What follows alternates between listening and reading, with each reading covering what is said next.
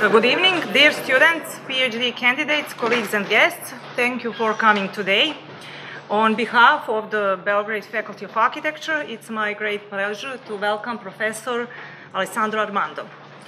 Alessandro Armando is an architect and associate professor at the Department of Architecture and Design of the Politecnico di Torino since 2011, where he teaches architecture and urban design.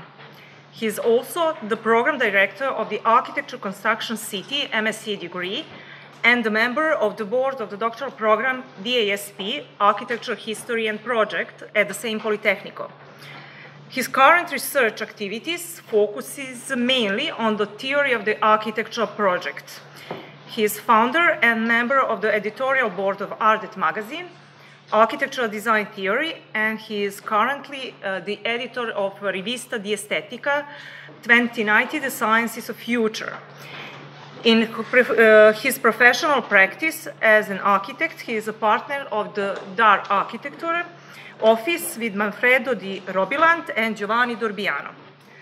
Among his various works in a very comprehensive theoretical field, allow me to emphasize this publication, Teoria del progetto architettonico with Giovanni Durbiano, um, Watershed, a narrative for urban recycle, and in Italian, La soglia dell'arte, Peter Eisenman, Robert Smithson, El il problema dell'autore dopo le nuove avanguardie. His urban house, uh, his urban house with big window in Cambridge, Massachusetts, has been published in Architectural Record, the Architect's newspaper, Domus and Design. In April of this year, from the same point, as a part of a guest lecture series, we heard from Professor Jörg Leiter of the Technische Universität Berlin. It was delivered with a master subject philosophy of architecture, which, after which he participated also in PhD talk. Professor Armando's visit is continuation of the idea of unbroken, uh, intensive cooperation of our institution with important architectural uh, schools across Europe that nurture a theoretical and practitioner discourse in equal measure. Uh, Professor Petar Bojanic and I held the opportunity recently to hold a workshop uh, at Politecnico di Torino with professors from TU Berlin and AA School of Architecture from London. Entitled Innovation in Practice, the summer school was a continuation of both theoretical and practitioner effort Professor Armando has established with Professor Giovanni Durbiano at master's and PhD levels, and richly the guest seminars held by professors from Paris, London, Stockholm, Berlin, Milan, and Belgrade. Uh, in particular, I would like to say that it's uh, my own great pleasure to thematize and develop the relation uh, of architectural project and architectural project and architecture concept uh, with discussions, seminars, and different kind of projects with Professor Armando.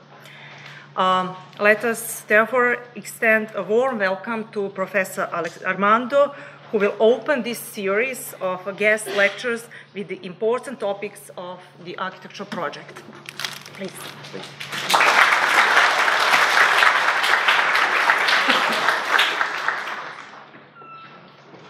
Keep this. Okay. Uh, so, good evening, and uh, thanks to all of you to have invited me here.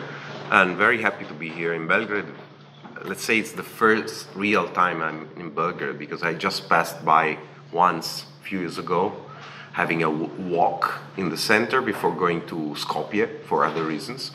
So I really don't know the city, and maybe in the next days I will enjoy this amazing place. And I know some of you also because of summer schools in Dubrovnik, so I see some uh, guys I already know, and I'm very happy about that as, as well. And uh, so I, I will try to have this lecture uh, about uh, mostly about a book, which is uh, the, the book uh, that was mentioned by Snezhana before, which is a theory of the architectural project from drawings to effect. That could be the, the translation uh, about this. The architectural project and not the architectural design, as uh, Petar Bojanic mm, mm, uh, underlined to me many times, because I mean, I think that the problem of the project or the opportunity of the architectural project is really specific. I define myself as a progettista. Maybe also you have a similar term for saying that you are an architect, of course, but you make projects. And making a project, a, map, project is different from making a design thing somehow. And I would like to discuss with you about this, if you agree with this and why. Uh, the, the project, in this sense, uh, has some specific issues about architecture. Of course, we can make projects also about something else, not only about architecture, but the projects of architecture are, are really specific. And I think that we have some problems with this also. This is just uh, the cover of uh, the book and of the journal. You can apply for, there are a couple of call for papers every six months about that. You can can check on the website too and noticing what, what we are talking about. Uh, but maybe we will be, be back on that uh, afterwards. Uh, so let's, let's start from some problems, okay? Uh, I would say that we have uh, a problem about, let's say, the effectiveness of architects, of their work at least. I mean, usually we make projects and they're not effective. They remain on a desk they don't become something in the space, in the material space.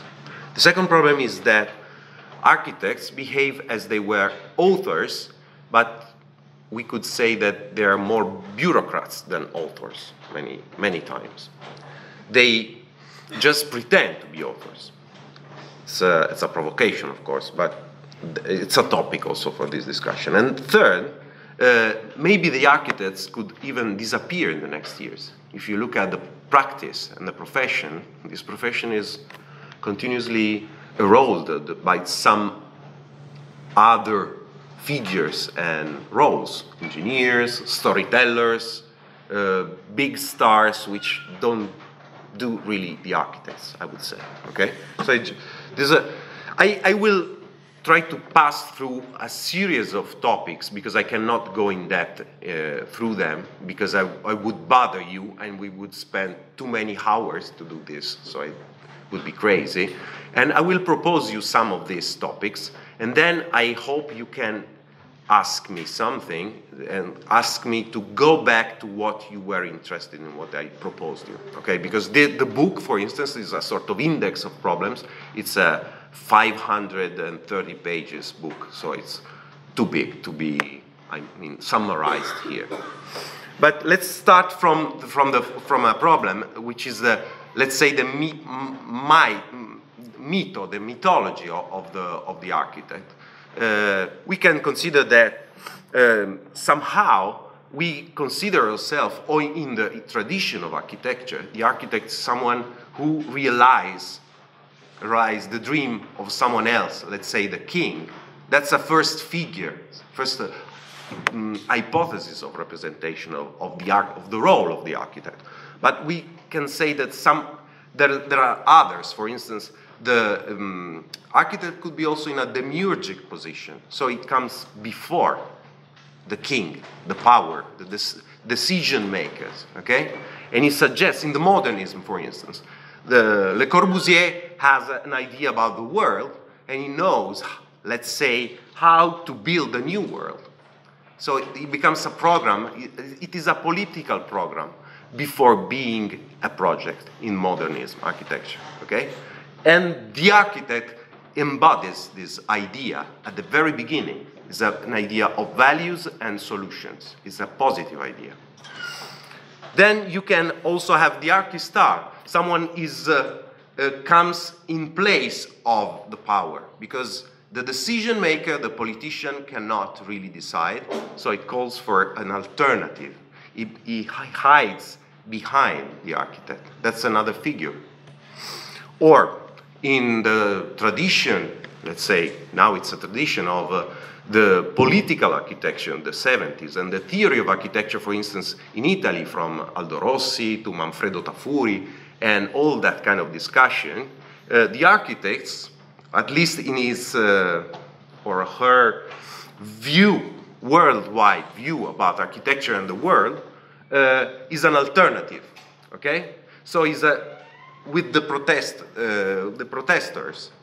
Uh, he knows that his project is not effective in the world, but he continues to, uh, let's say, insist on it without trying to make it real. This is another topology of the. And then we, can we can continue. For instance, there are some more mediate situation in which the architect is more modest, is capable of uh, listening to everybody, and then at the end he can wrap up the uh, issues, arguments, positions, and translating them into something which passed through himself in any case. So he is he continues to be a sort of black box. We cannot say what he's doing from the, the, the collective different contradictions and instances to the outcome. Okay? There is uh, always this kind of linear relationship between what he does and the final result, at least in, in the mythology, I would say. Okay? Uh, and then you have also the participationist architect, for instance, the one who pretends in a sort of uh, fictional situation. Let's, I don't know, we could uh, talk about Giancarlo De Carlo, for instance. Giancarlo De Carlo is the, the most important and, and serious, uh, let's say, character of this participatory attitude of uh, architecture in the 70s. But his uh, ideology of participation puts himself in a position that, where the, the people, the collective, is crowned as if they were the king, but actually they just have to follow or to say what is as in uh, he has in his own mind. Okay, so finally he's hiding somehow the project, and then this project uh, embraces the, the, the instances, the, the arguments of, uh, of the people, of the workers, interni, and other things. So, of course, it's a, it's a provocation again, but finally, the project is, is not made by people, of course. It's De Carlo or the participationist who translates again this in his, uh, with his uh, tools. Hmm? Uh, so the, the, the, architect can also mediate other things which are not uh, uh, people or actors uh, issues, but there are objective things. But in any all these cases, I just mapped them for you together. You can also say that the architect is a person which embodies the, uh, the capacity of doing something. And we cannot say what he's doing, actually. We cannot explain. Because it's something, there is a point in which something is uh, happening inside himself. Nobody knows. It's a black box. You know what a black box is, okay? It's a black box. There is at least one passage, as long as you try to open him, as the, even if you want to, to include people in this kind of uh, uh, articulation of the project, there is at least one passage in which you cannot see. This is something, say, mystical.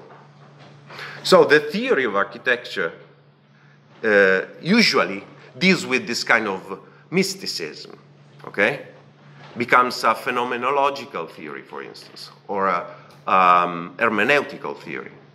It's a theory of uh, uh, intentions, it's a theory of uh, thoughts, of cognition, of thinking, of ideas. The theory of the architectural project would try to be something different, would try to explain what can be measured, what can be seen, not because uh, nothing happens inside, not because the, uh, the art of architecture is, uh, is less important, but because it's not something that we can deal with, uh, let's say, scientifically. into a department of architecture where we are paid, for instance, for making scientific research and not just to give some suggestion about something that we cannot even say. That's the point. Okay? So this is the first assumption. Uh, let's say they would like to start to pass from that higher figure in which the architect has something in his mind and something happens outside, and you never know how to pass from the, the mind to the reality, to another situation in which at first you know that there is at least something in, in between. And then maybe what is in between could come after what is in the mind. And third, that this uh, mediation thing, that is a, a, document, as I will tell you afterwards, uh, is a part of a wider network of uh, uh entangled things. Okay? It's not something that imposes itself to the world. Something which affects the, the, the, a process or as a network of conditions. So, let me start from some definition. Uh, a first definition could be that what is, uh, what is an architect, architectural project? And I would tell you that an architectural project is a sequence of productions and exchange of documents. This is a um, objective or let's say materialistic definition of the architectural project. It's not a, a, conception of something which becomes something else and then realize itself. No, it's a production, a series of production. I start writing something as I, I, start, I receive, there is an exchange. I receive an email Someone is telling me something at the phone, then I talk with someone, I send my drawing to someone else, he modif is modifying it, okay? So this is the pragmatic definition from where we start. So what, what is about the production? What is production? We produce what? We don't produce building, for instance, as architects. We produce something different. When we start making a building with our own hands, we stop to be architects. We become maybe craftsmen, very skilled craftsmen, even artists, sculptors, I don't know, but it's something different from the role of the architectural progettista, projector, not that projector, but. Uh, so let's assume this. We make these things, not the houses and walls, okay? So these are objects. These objects are entangled into a very complicated uh, network of implication with other uh, human beings and other things. All these entities act one with the other. So this is the, let's say, networking uh, hypothesis that we use. Uh, we can also list all the kind of productions we have.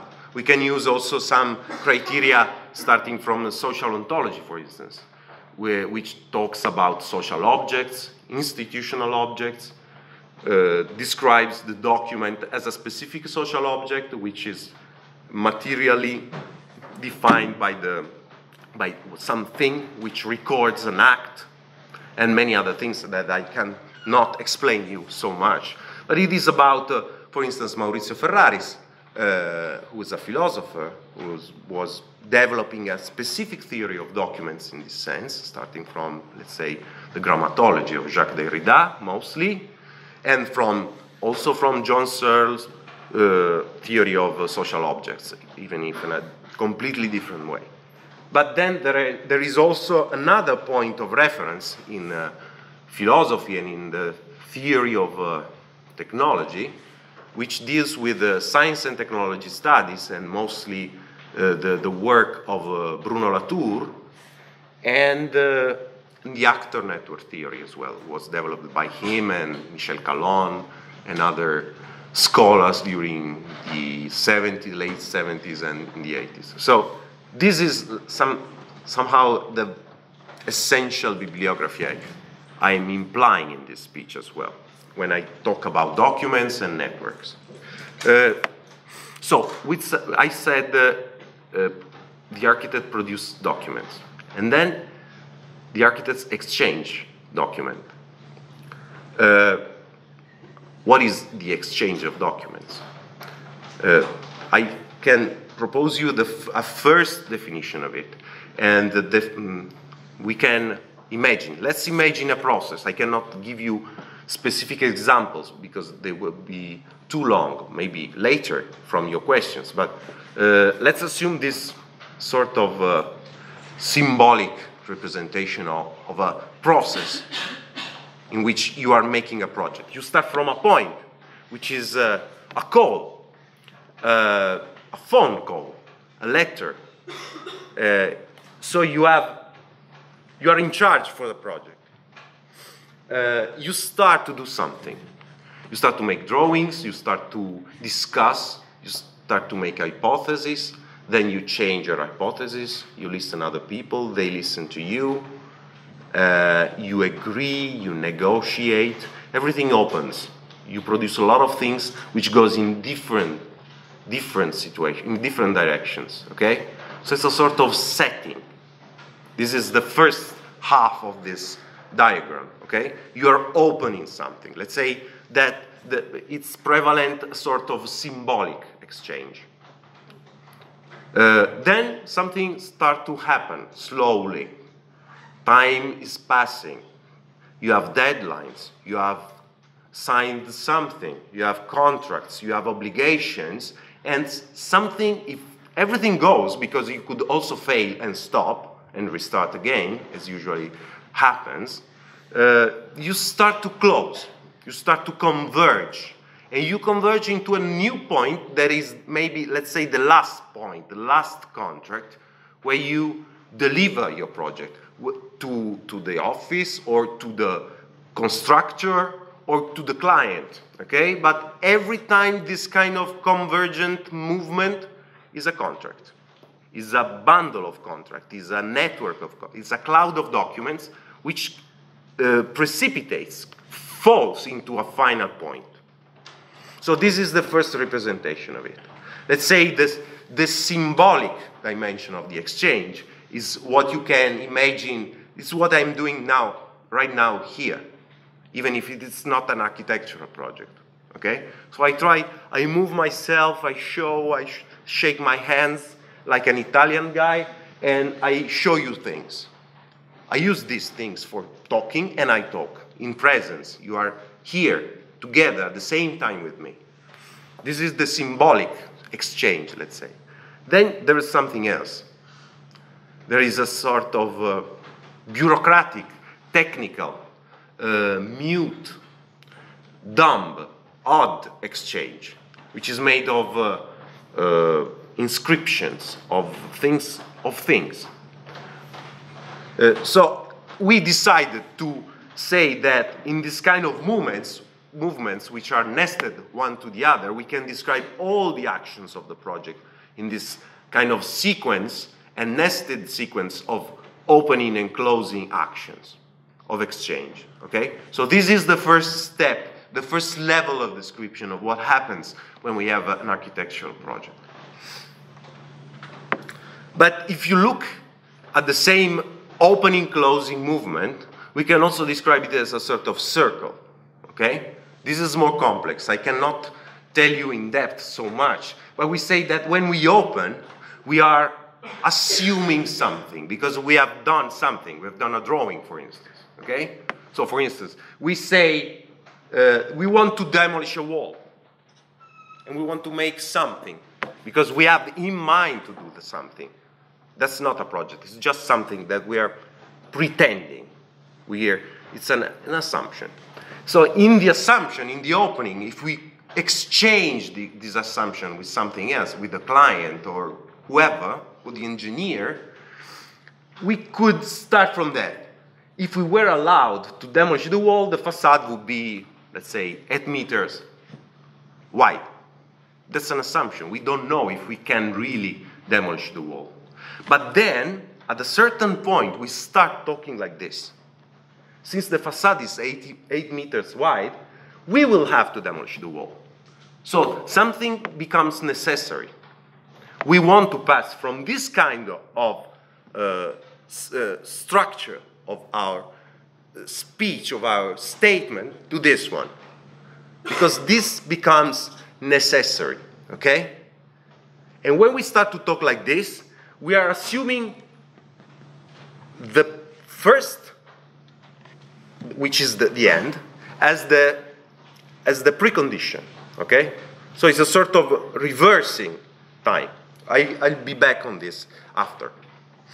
Uh, finally, so I, let's go back to the, to the general description of this movement, okay? This could be, let's say, the, the, the situation in the same style of uh, description or diagrammatic description. Many times the same kind of openings producing a lot of points which be, are translated into contracts uh, uh, and signatures and stamps and registrations moves to the approval from the very beginning and the proposal to the approval, from the draft to the execu- executive plan on the final contract. Of course, so we, we are using different kind of uh, representation of this, okay? When you see the red uh, spot, it becomes that I don't want to stay on this slide because it's too tricky.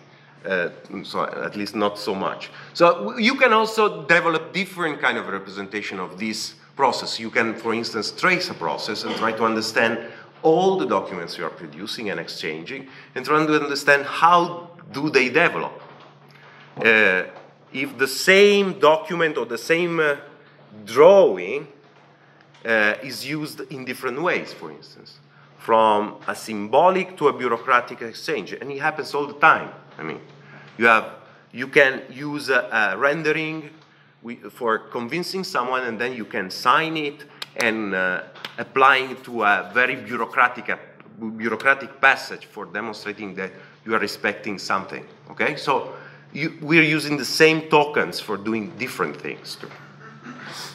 And at any, we, we don't just need to make uh, network representation because the network representation of actors of document are useless for architects. We have to decide a direction from what to what, from who to what, okay? And then we have to understand how all those dots, which are documents, uh, works inside. How can we produce the transformation, the generation of that point in itself? So it's a multipli- multiplied scale of, uh, of networking. That's the same, so I will jump this. Uh, so let's just stay a moment more on this difference, difference between the symbolic and the bureaucratic, which is just a proposal, okay? We, we are using these terms, but they, we can discuss on, on, on this. It's not so uh, fixed as a definition. So the, the symbolic dimension of the documental exchange, uh, it's, uh, we can see it as a theater. As in the picture I showed you of uh, Norman Foster or Renzo Piano, it's a theater. It's really a theater, okay? So there, you need some, someone speaking and moving with some, something that has been already done before, a sort of uh, inscription. You show what you did before, but what you did before, it's about something that will have happen afterwards. Hmm? So remember this kind of uh, game with time. Then you have the bureaucratic dimension of this exchange. That, that is something that could, could happen even without human beings, or at least without human uh, intentions and interpretations. Okay? If you upload a document for a competition, you are doing something with a machine, and that is a sort of exchange uh, that is very important. You cannot avoid it, but it's different from when you present that drawing to, a, to another guy. Okay? So these two dimensions are, are, you cannot separate these two dimensions. This is a very strong hypothesis for us. You cannot just say, I'm the artist and you are the bureaucrat. So let's share our duties. It's not possible for the architectural project. So this is a, a way to show you how uh, passing many cycles with the same document, you can show it on, on a theater and then you can uh, approve it at a certain level and then to another, into a theater, then to the other, okay? So this is a sort of strategy that you have to follow. How can you realize what is the path, what is the most effective path for making my drawing uh, real? For passing from the fact that I just thought about this form of displays to a situation in which someone has the power to do something or someone is obliged to do that thing that I drew. That's the point. Very strong for us. So, how can I how can I give the power to become real to my drawing? This is a, a, a basic question. Where is this power? Is in my head, in my creativity, in my capacity of convincing people, in the power of my boss, of the guy who gave me the job? I don't know. In the people, in the participation, participation of everyone? Okay? So, we say, we try, we, because this book, for instance, has been written by me and Giovanni Durbiano uh, and other people. We were talking about this. Uh, uh, uh, we could have this hypothesis. For charging of power a drawing, we need to exchange it. But it's not enough. We have to exchange it and to exchange it with someone else, with something else, and we have to change it. Okay? This drawing has to change. Every time it changes, uh, uh, not, not this drawing, this project, this document, has to change many times. If it changes a lot, every time it changes and we fix that change, we uh, widen the, the, the network of entities which is connected with it. Okay? So, finally, the, the, the trajectory of a project uh, from the, let's say, useless drawing to the effective document and contract is a sort of circle, many circles, which crosses the world and associates many different things. Let's say that if we don't change it, we have a just idealized project. Okay? If, we close the circle in the same point. To the, in reality, in the reality, we assume that every time happens something like this. Okay? You can never close the circle on itself. This is this has something to do with other kind of theories. For instance, uh, the theory of uh, technological evolution and the theory of natural evolution too. Okay, so there are other discussions, much more serious than ours and more rooted in sciences, for instance, which discuss these two models, which are parallel, let's say, in our perspective. From one side, you have the new, let's say, from the 70s, the new discussions about the theory of evolution, uh, where you consider that the evolution is something which happens uh, in a contingent way. So you never have an adaptation alone, something which respond, a change in the, in the, in the shaping of an animal because it uh, becomes useful. Okay? Uh, you have another kind of, uh, change, which is not adapt adaptation, but it's called exaptation. The exaptation comes from the fact that you already have some features in your body, in your anatomy, and but in the circumstances where you are living as an animal, for instance, you, at a certain point, you can use it for something else, something which emerge from the contingency of your life. For instance, the Archaeopteryx, which is the maybe the most, the, the oldest bird, let's say, of natural history. You have also in Vienna, Museum of Natural History in Vienna, uh, there is a big uh, uh, thing like this. Uh, he had wings with feathers, with everything, but he didn't fly. And before the Archaeopteryx, all these animals didn't fly. Okay? So the wings appeared before flight. That's the classical example by Stephen Jay Gould, who is the, this, uh, this uh, theoretician of uh, uh, evolution, natural evolution. So what, what does it mean? That the, the flight is an exaptation of the wing, okay?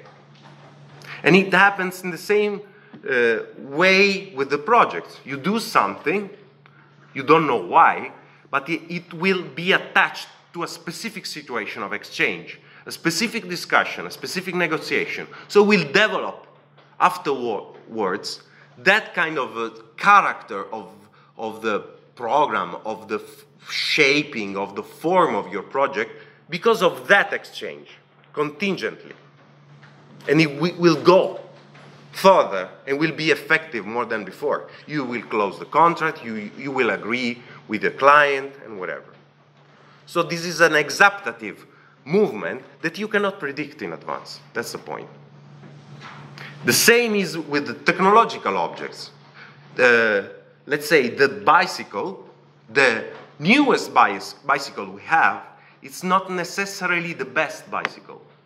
Okay? We could have uh, bicycles, beautiful and very effective bicycles with three wheels, but we don't. Because uh, at a certain point of the evolution, technological evolution of bicycles, uh, things went into a different way. But at a certain point, someone was starting to, to build bicycles with three wheels because uh, women had the skirts, long skirts, and the, the two wheels bicycle didn't work at all. Okay? So there was a sort of path in which, a certain point, this kind of trajectory was flecting through the three-wheeled bicycle, but then it stopped, and the two-wheels bicycle continued.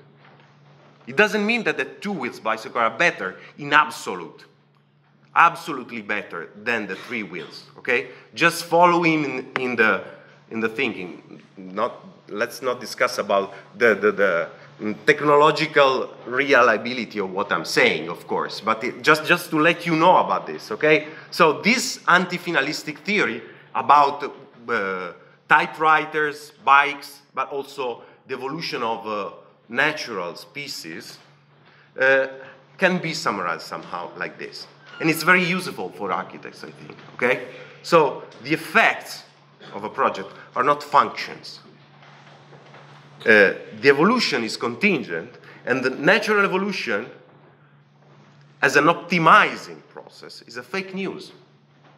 Okay? So what comes after is not better per se. It's better for a specific situation.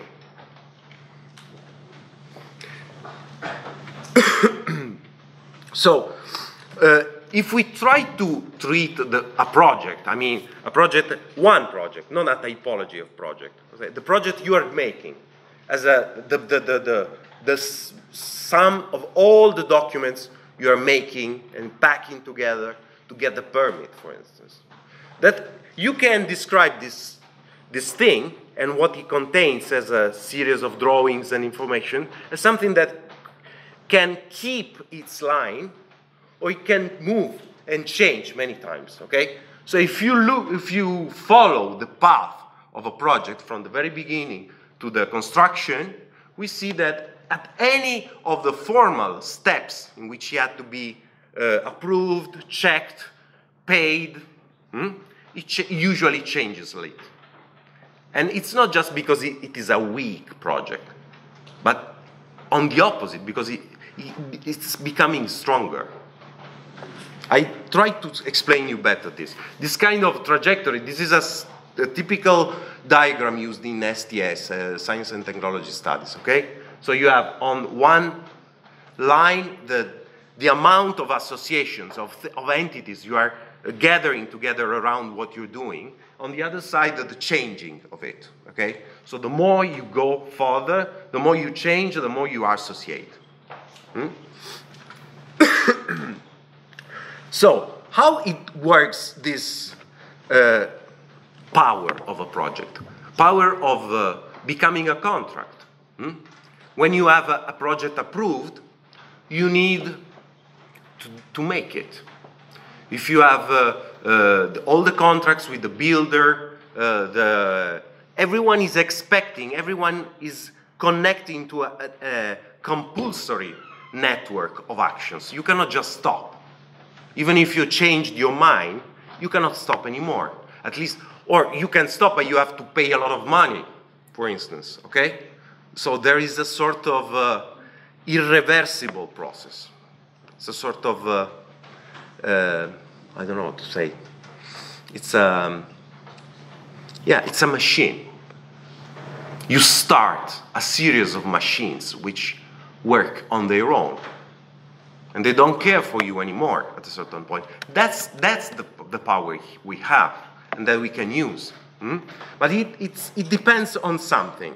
Depends on, on this kind of, uh, the definition of this kind of uh, obliging power that we can develop through the projects is uh, by John Searle, is deontic power. The power of obliging someone of doing something, or the powering the power of giving, of uh, allowing something to, to do something, uh, allowing someone to do something, sorry. Okay? So this kind of uh, uh, series of connections is at the basis of bureaucracy, for instance. Hmm? And you can also say that, uh, for instance, all the contemporary world, work and is in a sort of network between uh, intertwining a principle of sover- uh, sovereignty, sovereignty of, uh, of decision makers, of human be- people, human being, and of discipline, of technique, of automata. Okay? So, uh, wh- when we make a project somehow, we are trying to uh, densify a series of contracts connected one to the other. Okay?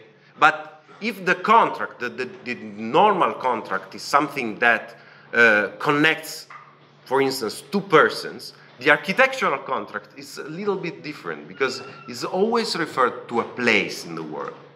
Okay? So, the future of a place in the world. When you sign a contract uh, for making a project, you are connecting uh, a series of actors with the destiny of a place, which is still to be transformed, but it's there, and it starts to change somehow, at least socially.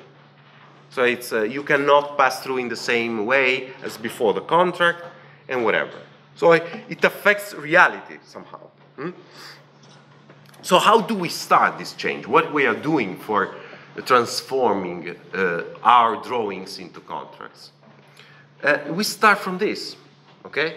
We have some, something out of ourselves, and somehow we refer to this document between us for re re registering, recording a series of exchanges. Hmm? And then we multiply this kind of uh, uh, accumulation of inscriptions.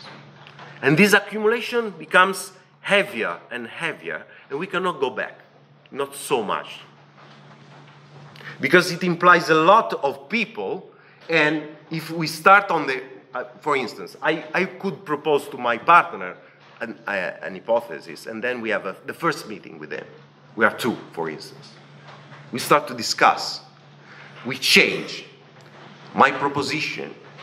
We intertwine my proposition with his suggestion and then back to my proposition, which includes his suggestion many times. So we are deviating exactly as the technical or natural evolution, okay? At a certain point, we arrive to a solution and we finish our meeting. And from that point on, that will be our solution. I won't be uh, anymore alone with my idea. There will be something new which is outside ourselves. That's the reason for this, uh, this drawing. And that will be our project. From one to two. We cannot go back. Okay? This is, it is already a contract somehow. And then we make it many times with other people, with engineers, with people at the city administration, with the deputy mayor, with, I don't know, the heritage responsible, and so on and so forth.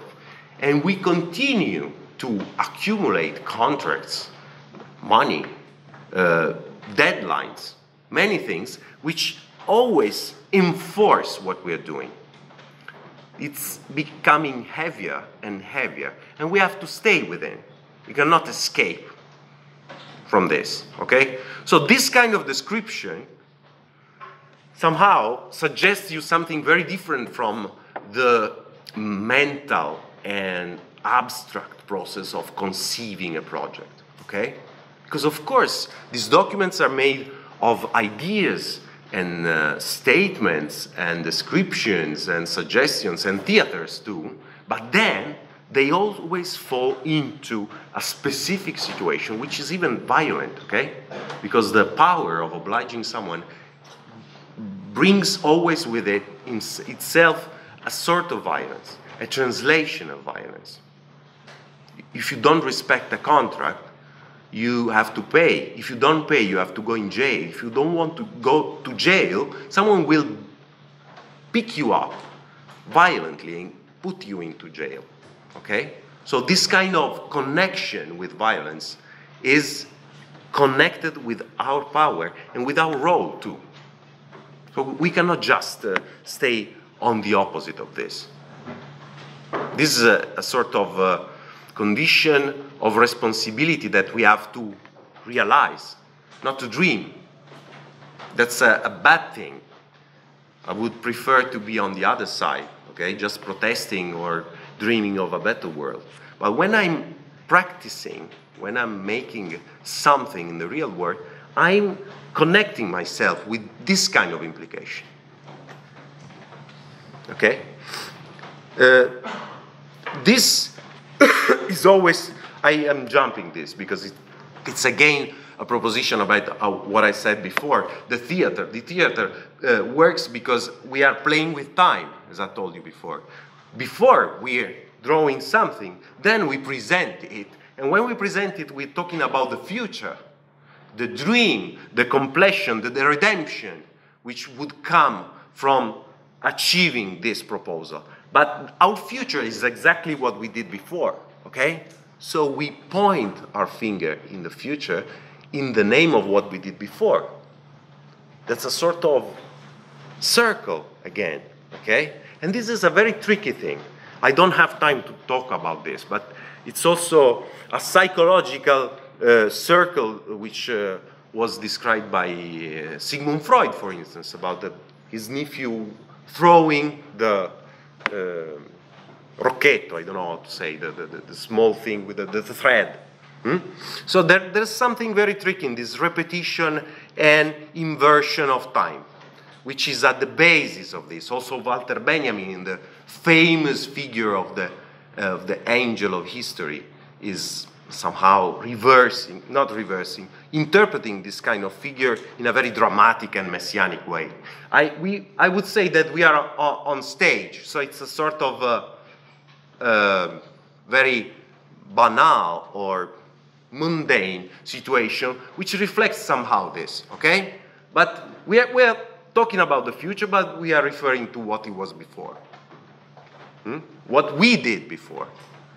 And we change it and we point every time to a different future. Okay?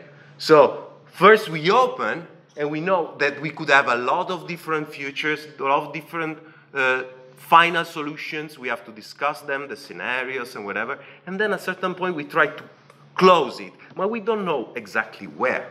We don't have enough power to decide this precise solution for this. And this is important because this is a completely different narrative from the modernist one, for instance, we, where you have a line and a destiny too.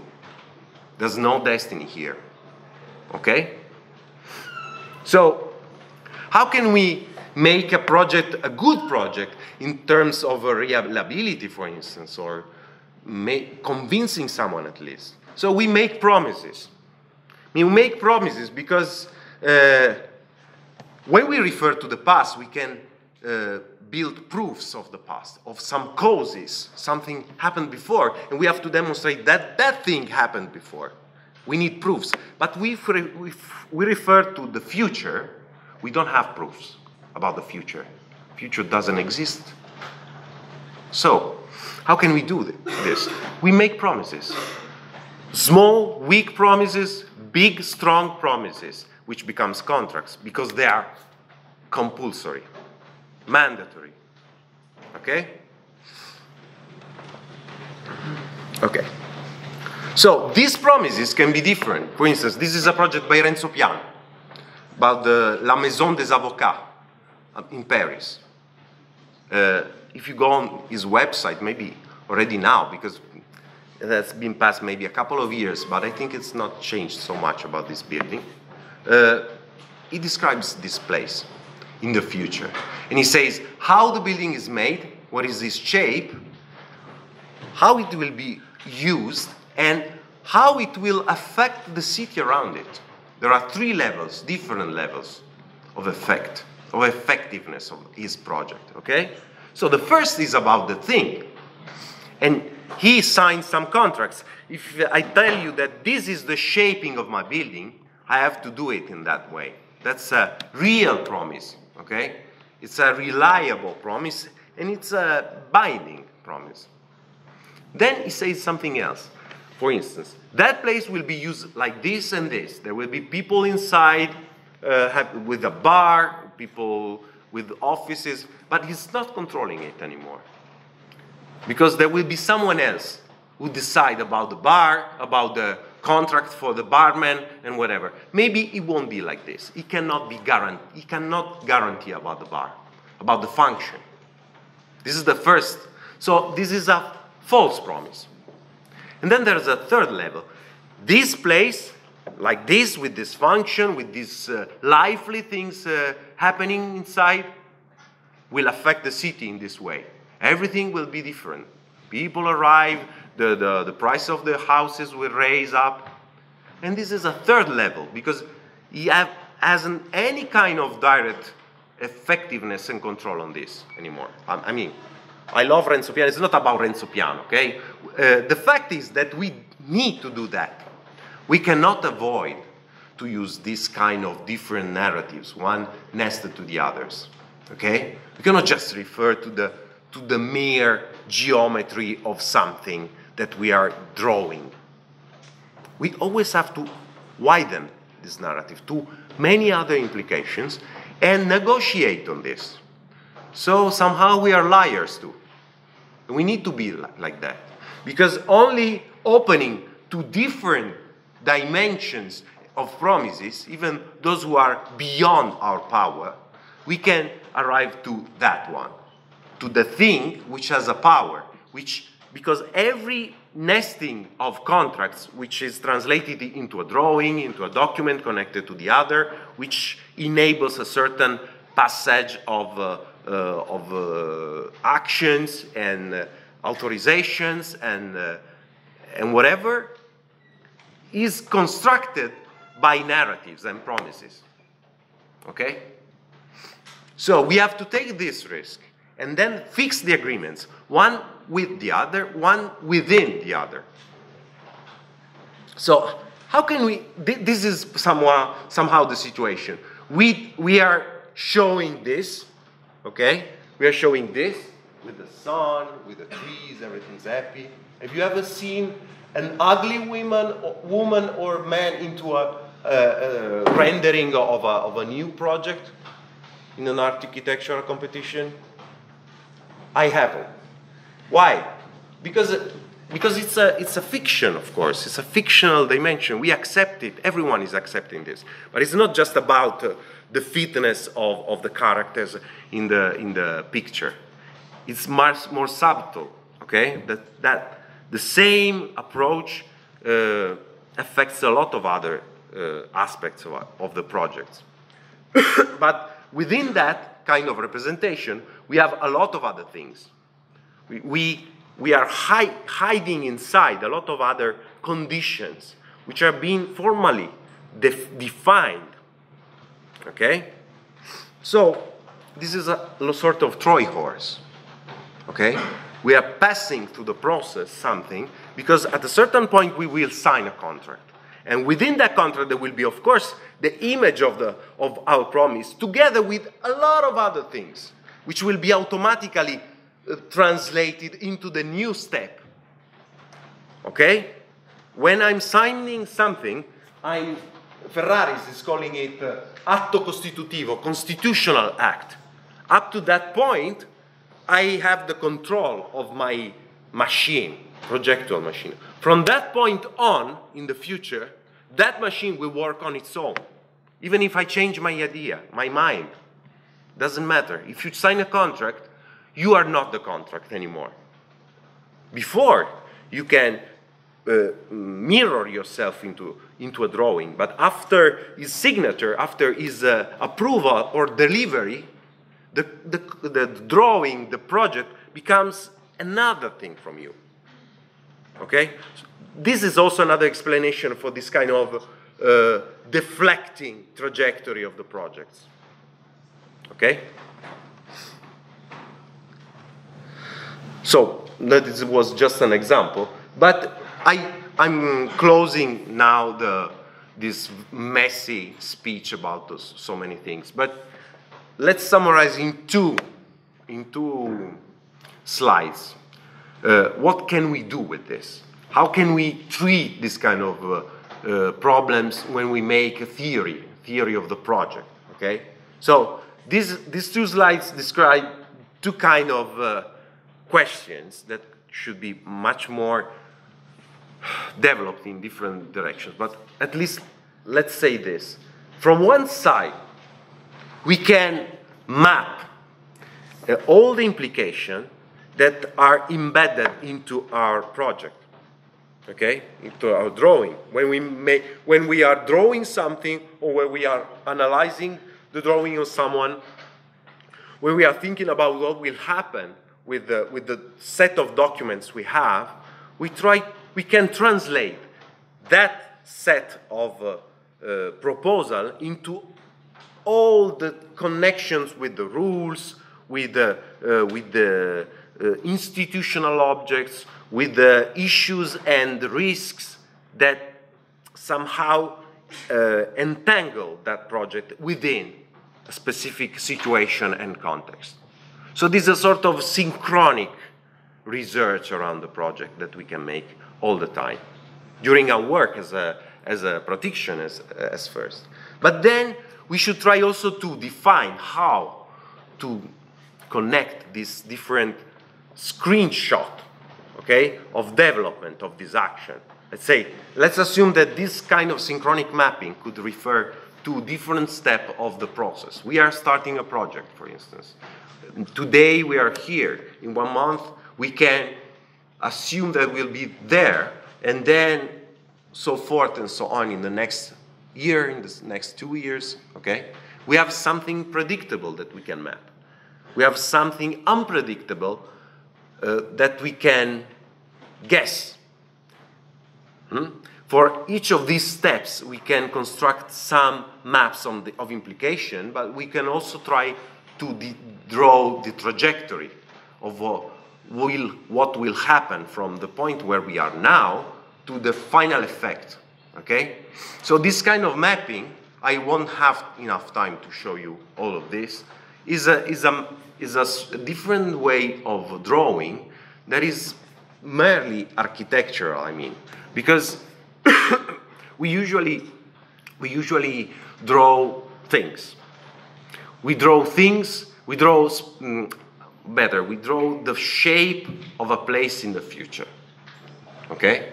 This is a drawing of a, of a new situation of a, an existing place of the world. But we don't draw, we don't have explicit codes for drawing, for instance, action. But we talk about action. We think about action. And we could develop a different, uh, maybe in the next lecture, if you don't, if you don't hate me, the next time I come here, I will show you something more.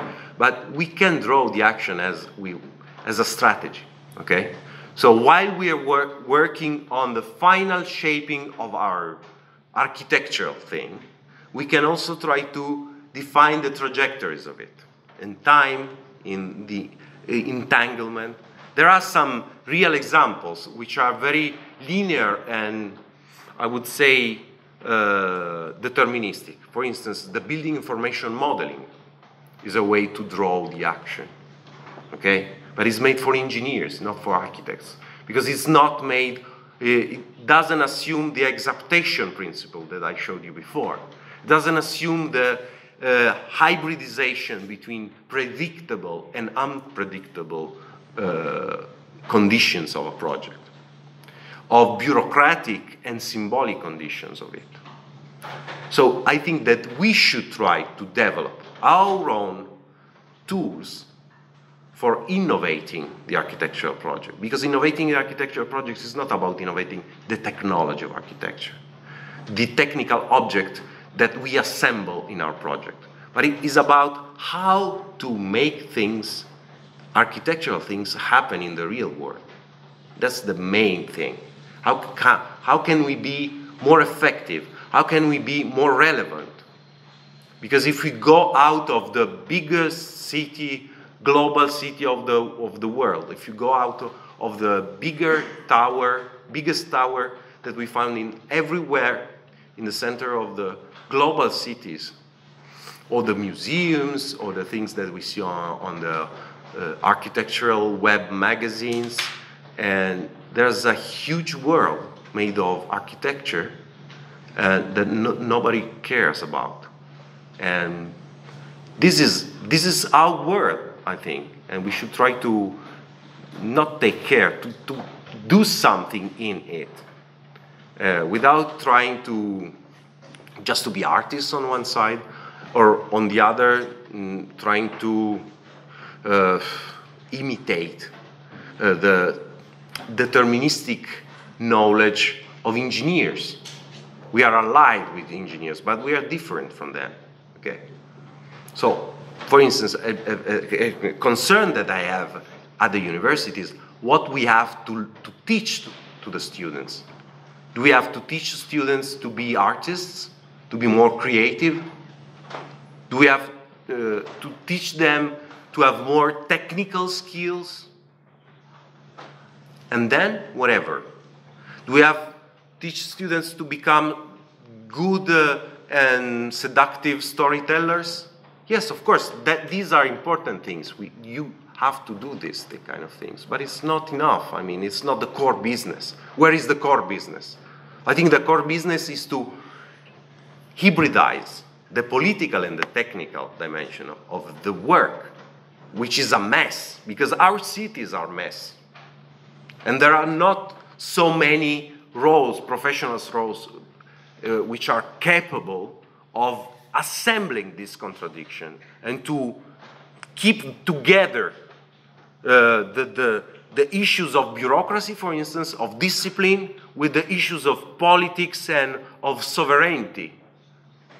Okay? No, no one is capable of assembling different uh, categories of entities which acts in our world.